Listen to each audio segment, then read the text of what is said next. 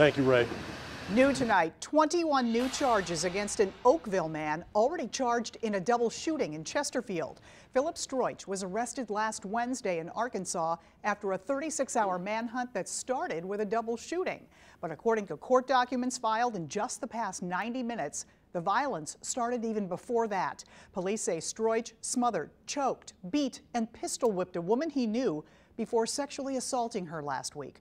Police say he then pointed a gun at her and threatened to kill her. A live look at skies over St. Louis.